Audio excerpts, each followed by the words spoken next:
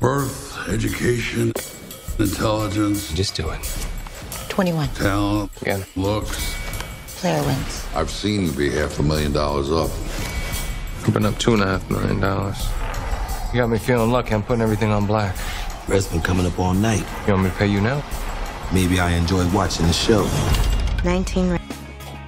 Bentornati su Radio Killian, noi siamo Vic e Nick, inguaribili cinefi appassionati, diversamente boomer e nemici giurati e politicamente corretti. E oggi vi accompagniamo nella quattordicesima puntata della nostra rubrica Matinée, la piccola bottega dei grandi film dimenticati, con The Gambler di Rupert Wyatt. Trama? Los Angeles. Nipote del diciassettesimo uomo più ricco della California secondo la rivista Fortune, James Bennett possiede una visione drastica del mondo e dell'esistenza, o sia tutto o non sia nulla. Ricchezza, istruzione, intelligenza, talento, avvenenza. Questo è tutto ciò che Jim ha avuto dalla vita. Eh ma che culo! Doni che gli hanno permesso di fare tanta strada, come vincere decine di borse di studio nelle più prestigiose università d'America, o scrivere un saggio ritenuto la migliore opera prima letteraria degli anni 2000. Quello che Jim non ha avuto sono stati un padre, la felicità e più soldi di quanti non fosse in grado di spenderne.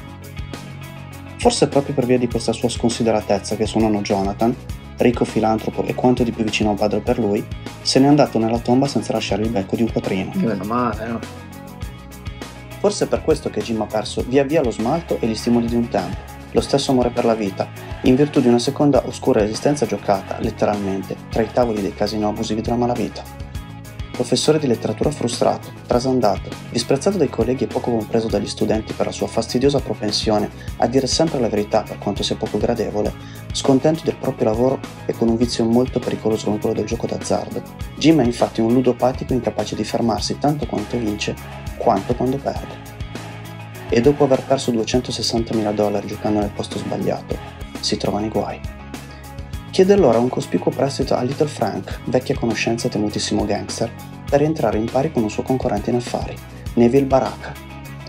Mentre ciò che resta della sua famiglia gli volta per sempre le spalle e a cercare di tirarlo fuori dall'abisso l'ultima persona che mai avrebbe immaginato, per Jim inizia una lenta e inesorabile discesa nel mondo della criminalità, fra strozzini, allibratori e maniaci del gioco, in un inferno privo di qualunque regola. Oh, oh, wow, oh, oh, ancora, ancora, ancora, ancora, ancora, ancora.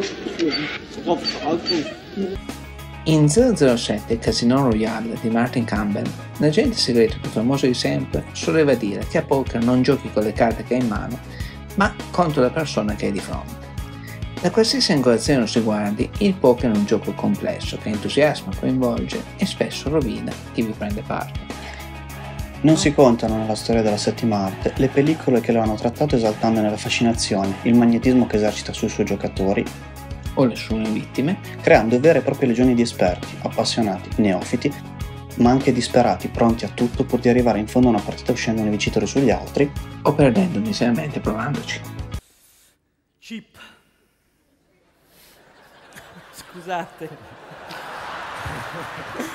Porca troia, avevo appena cominciato. Non si ricorda la battuta. Dai classici La città nera di William Butler, a Posta Grossa Dodge City di Filder Cook, Per arrivare ai titoli più recenti come Run and Run di Brad Furman, Joker Wild Card di Simon West, in Coincidenza ai carte di Paul Schrader e Poker Face Face di Russell Crowe, passando per la spensieratezza western di Maverick di Richard Donner o il ritmo adolescenziale di 21 di Robert Luketic, ma anche la cupezza dei nostrani, il regalo di Natale di Pupi Avati e il passato nella terra straniera di Daniele Vicari, i Sydney di Paul Thomas Anderson o del giocatore di John Dale, o i meno noti Hardball di Brian Robbins, le regole del gioco di Curtis Sanson e Mississippi Grind di Anna Boyden e Ryan Flack, il cinema ha raccontato in centinaia di modi l'ossessiva, disperata corsa a loro sui verdi tavoli da gioco. Memore anche della lezione europea di Bobby giocatore di Jean-Pierre Melville, la New Hollywood dei magici 70s sfornò almeno tre titoli sul tema degni di nota. La stangata di George Roy Hill, California Poker di Robert Holtman e non ultimo 40.000 dollari per non morire di Carter Rice. A suo tempo scritto da James Toback, poi autore di un altro memorabile gangster movie, Bugsy di Barry Levinson. Rifacimento del film della Rice, che avrebbe poi ispirato l'omonima canzone del 1978 di Kenny Rogers, The Gambler ripesca il soggetto originale di James Toback, ma questa volta Complice una produzione firmata dalla coppia Irving Winkler e Robert Shartoff, dinamico duo responsabile di tanti bei film della New Hollywood da Non succedono così anche i cavalli di Sidney Pollack a Rocky di John Avildsen, affida la sceneggiatura al bostoniano William Monan, già premio Oscar per The Departed, Il bene e il male di Martin Scorsese, e artefice negli anni di copioni di successo per registi come Ridley Scott, per cui scrisse Le crociate Kingdom of Heaven e Nessuna verità, Martin Campbell, che ancora oggi gli deve un gioiellino come Fuori controllo Edge of Darkness, Joseph Kosinski, per Oblivion, e qui capolavoro più o meno, Robert Rodriguez per Sin City Una donna per cui uccidere, e anche l'irlandese Neil Jordan, per il suo ultimo Marlowe con Liam Neeson, che non vedremo mai. Abile nella descrizione degli ambienti criminali e vero e proprio antropologo di quei bassifondi, Monan è tuttavia uno di quei fuoriclasse della narrazione che, se non adeguatamente tenuto a freno da registi e produttori, rischia di creare minestroni di parole capaci di influenzare il risultato finale di produzione grandiosa, con script verbosi nei quali emerge tutta la sua smisurata cultura classica, un po' come la nostra, mm, che fanno un po' pugni con determinate situazioni che stanno accadendo sullo schermo, o di snocciolare come già gli era accaduto di fare in London Boulevard, di cui aveva curato pure la regia, slang tipicamente british, mettendoli a fuoco con la lente americana. Tradotto, immaginatevi un asiatico parlare in un dialetto nostrano. Ciao a tutti! Eh, ma che ne fate cicoria? Ho 16 anni e indosso la 28. Sì, ma perché sarda? Oh. Ha belli capelli, dell'à. Guarda quella, da dove è uscito mo? Uè, testina, la Che c'è? sigaretta no, eh. Vi è stato fumare, Questo per dire che se in The Gambler doveste vedere e sentire protagonisti più o meno positivi o loschi antagonisti profondersi in dialoghi filosofici che saltellano da Shakespeare a Sartre, passando per Dostoevsky e Proust, non allarmatevi, fa tutto parte dello spettacolo.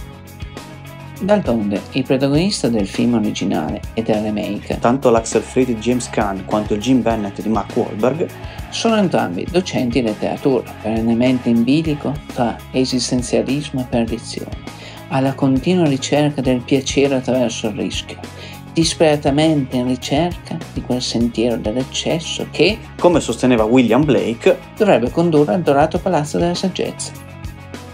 Ma, come suggerisce una fluviale biblica sequenza onirica, la sregolata inerzia biologica di Jim Bennett assomiglia più a un proverbio indiano. La vita è come un ponte di corde, puoi attraversarla, ma non costruirci sopra una casa. Nelle intenzioni originali, a dirigere il timone dell'intera operazione avrebbe dovuto essere niente poco di meno che Martin Scorsese, con il magnifico Leonardo DiCaprio, a causa di precedenti impegni i due non hanno potuto prendere parte al film. Con una coppia simile, già rodata da diversi film, viene a domandarsi come avrebbe potuto essere questo The Gambler. Tuttavia chi li sostituisce non fa rimpiangere il risultato finale. Al loro posto troviamo Rupert Wyatt, regista inglese del Devon, fattosi conoscere con una gemma carceraria come Prison Escape, con Brian Cox, Joseph Fiennes e Dominic Cooper. Poi è passato a dirigere il fanta blockbuster come L'alba del pianeta delle scimmie e Captive State. E un convincente Mark Wahlberg, una volta tanto calato in un ruolo non muscolare, dove può esprimere pienamente il proprio talento, quale?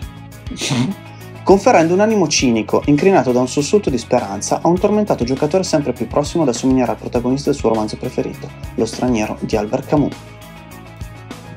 A sedersi con lui al tavolo del destino vi sono John Goodman, figura rassicurante, pur nella sua terrificante natura di gangster mentor. Il compianto Michael K. Williams, ras del rione con ambizioni da quartieri alti. Jessica Lange, borghese californiana devastata da materni sensi di colpa. E la salvifica Brie Larson, ancora lontana dai panni di Capitan Marvel. Uno specchio e Brie a tavolo 2? Pronto a giocare la sua ultima partita fino in fondo, Jim Bennett scoprirà a sue spese due amare ma mai così preziose lezioni, dalle parole di George Moore, poeta drammaturgo irlandese, e Ralph W. Emerson, filosofo trascendentalista ispiratore del pragmatismo americano. Un uomo viaggia per tutto il mondo in cerca di ciò di cui ha bisogno e poi torna a casa e lo trova. Ma è anche vero che possiamo girare tutto questo mondo in cerca di ciò che è bello. Se però non abbiamo già dentro di noi, difficilmente potremo trovarlo altrove. Il poker non c'entra, ragazzi, è semplicemente la vita. Alla prossima. Ovviamente su Radio Killer. Bye bye.